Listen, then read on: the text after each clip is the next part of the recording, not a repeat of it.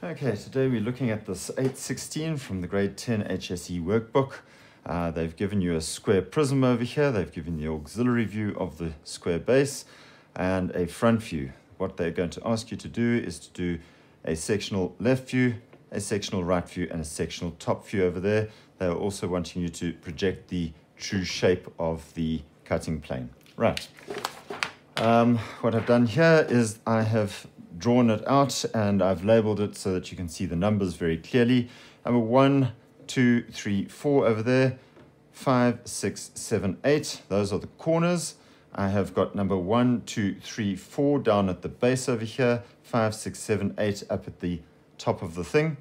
I've then transferred those numbers uh, using this method over here where I transfer from the XY axis over here. I transfer that Number one, there's number one, take it down to the xy axis, mark off number one, take it across to this xy axis, mark it off over there, take it across to this xy axis, mark it off over there, and label it as number one, number one, number one. It should be the same distance from the xy axis in this view, that view, and that view as it is in this view over here. All right. Okay, you transfer all of those numbers in exactly the same way. If I wanted to do two, Let's take that measurement from 2, go find 2 over there, take it across to the xy axis, mark off 2, label it 2, take it across to the xy axis over here, mark off 2, label it as 2. Same story over here, take it over there, there's number 2. Just a quick check, number 2 is the furthest away from the xy axis, number 2 is still the furthest away from the xy axis. Same story over here, there's my xy, there's my 2 furthest away, there's my xy, 2's furthest away transfer all of those numbers so that you get your two, your top of the square prism and the bottom of the square prism. You'll note that I've done it in construction lines um, and we are going to work using those, those line numbers. So 1, 5 is a line number, 2, 6 is a line number, 4, 8 is a line number, 3, 7 is a line number, and we are going to find our cutting plane on those lines. All right, there are four lines going up here. You can see that by the four corners that I've got there, and my cutting plane is going to go through those four lines. I'm going to label my cutting plane using letters. I'm going to call this cutting plane where the cutting plane goes through 1, 5 over here. I'm going to label that as A. There is A on the cutting plane, and I'm going to put my A on my auxiliary view as well. Number B, I'm going to say is on 2, 6. B on 2, 6. There is B on 2, 6. Let's say C is on 3, 7. There is 3 on C7. I'm sorry, there is C on 3, 7. And uh, go back over here. D is on your 4, 8 over there. All right, there is D on 4, 8. Okay, um, note I've got four numbers over there. I've got my four numbers over there, or four letters at least, four letters over there, four letters over there, showing me where the cutting plane is cutting through this prism. I'm now going to transfer those numbers, those letters at least, down onto my different views. Okay, let's take my t-square, and I say that A is on this line 5, 1. So I look for 1, 5 on my top view, and I drop a line coming down from A onto the top view, and I label that as A. There it is on 1, 5. I take that across from A, take that across, and I label that as A on 1, 5. And I can take that across over here onto my right view. And I have got A uh, on line 1, 5 over there. I'm going to do the same for all the other letters. B on the top view. B we said is on 2, 6. I drop that down. And you can see B on 2, 6 take that across to these two over here. Oops. Take that across. There is B on 2, 6 and B on 2, 6. C, I'm going to drop that down onto C, we said was on 3, 7. There is 3, 7 there. Where is 3, 7? There is 7 over, over here. There is C over there. Drop down onto 3, 7. Sorry, there is 3 over there. 3, 7. There is C. Um, come up here. Let's take C across to 3, 7. There is C on 3, 7 and C on 3, 7 over there. Where is 7? There is 7. Okay. Right. Okay, once I've done that, okay, uh, sorry, I need to find D as well. D, you can see, is on the same line as B, and it is up against the XY axis. D, note D, 4 and 8, they're all on the XY axis on that view. Therefore, they're still on the XY axis over there. There is D over here on my XY axis and D over here on my XY axis.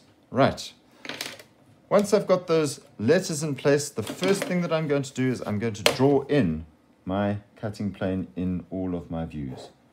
Right, so go as fast as we can to just draw in the cutting plane. Go.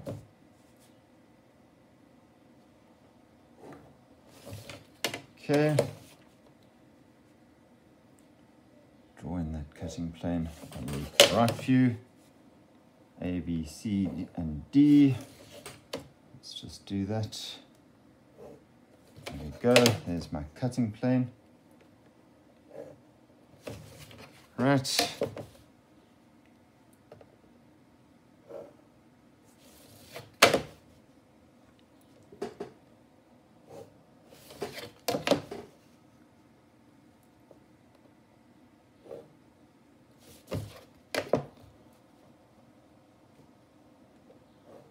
Okay, so there's my cutting plane drawn in. The very next thing that I must do is to just hatch that very, very quickly. Okay, so we're just going to do some quick hatching. I'm going to, sorry, let me just do this very, very, very quickly going across. I'm doing this hatching much larger than it needs. To. The spacing is very, very big in comparison to what it really should be, but I just want to do it quickly so we don't waste time on the video. Okay, make that spacing about five millimeters apart. I've done it a little bit bigger just to speed things up. There we go. There we go. Okay. And there's our cutting plane. You can see the cutting plane in all of those views. Right. My next trick is to figure out what I'm going to be seeing in each view. Um, let's start with this top view. Um, I'm just going to take this little eagle over here and the little eagle is looking down. Now, I must be able to see the cutting plane, which means that this top section with the 5, 6, 7, and 8 is going to be removed. What am I going to be able to see? I'm going to be able to see the cutting plane, A, B, C, and D, and I'm going to be able to see the base of this thing, 1, 2, 3, and 4. All right, so let's have a look. Can I see this line going from A to 1? Definitely, my eagle can come down and I can hit that. So I can draw in a nice dark line going between 1 and A. I obviously have an edge going between 2 and 1 and 1 over there. I've got an edge going between 1 and 4 over here. And I've got hidden detail, which is going to go down to 3 over there. Why is it hidden detail? Well, if you look where my eagle is, um, he's not going to be able to see that number uh, 2 and 3 and 3 and 4. Why? Because it's underneath this whole lot. Okay, so start out and draw number 1, A in dark, and you'll be able to see that, well, what, what's happening underneath is not going to be able to be seen. All right, do I have an edge going between 2 and B? Absolutely I do. Do I have an edge going between 4 and D? Yes, I do. And I need to have a bit of hidden detail going between 3 and C over there. And you see that idea, the eagle looking down cannot see that line going between 3 and C. There's my top view done. Now I'm going to do the right view over here. Let's do the right view first. Looking across, I can, um, I want to be able to see the cutting plane, okay, which means that the top section again gets taken away. Numbers 5, 6, 7, and 8 must be taken away. Seeing the cutting plane, I will be able to see the base in this. So let's have a look. Can I see this line 3C? Absolutely, I can see that. So I'm going to draw that in first. There is 3C over there. I obviously have an edge going up to 4 over there. I've got an edge which is going to go up to 2 over there. I've got an edge going between 2 and B. I've got an edge going between 4 and D.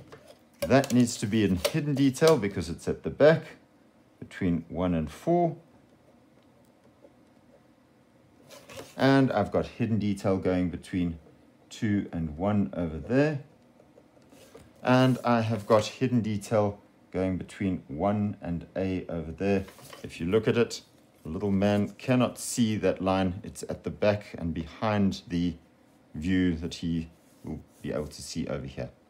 All right, so for the top view and the right view, you could see that I took away that top section. My left view, however, if I turn myself around and I'm looking from the left, I'm going to, well, I would normally see number one, two, three, four, wouldn't I? But I don't want to be able to see number one, two, three, four. I want to see the cutting plane, which means that in my left view, I'm going to remove the bottom part of this thing, and I'm going to be able to see the top part of it. Okay, so let's have a look at that. I need to be able to see 5, 6, 7, 8 on this view over here and the cutting plane. So let's have a look. Can I see this line A5 over here? Very definitely, I'm looking across. I can see that line A5. Draw that in first. I've obviously got an edge which is going to go between 5 and 6 over there. I've got an edge that's going to go between 8 and 5 over there. I can finish off a line going down there, a line going down there because they are edges. And then the hidden detail part of this thing, that line is obviously going to be hidden detail because it's behind everything. That is going to be in hidden detail as well. And I'm going to have hidden detail going between 7 and C. Look at that. Looking across here, my little man cannot see 7 and C. It must be hidden detail. Right, there are the three views that you need to have drawn. The last view that we need to draw is the cutting plane of this. I'm going to do another video on that, just showing you how to go about doing that.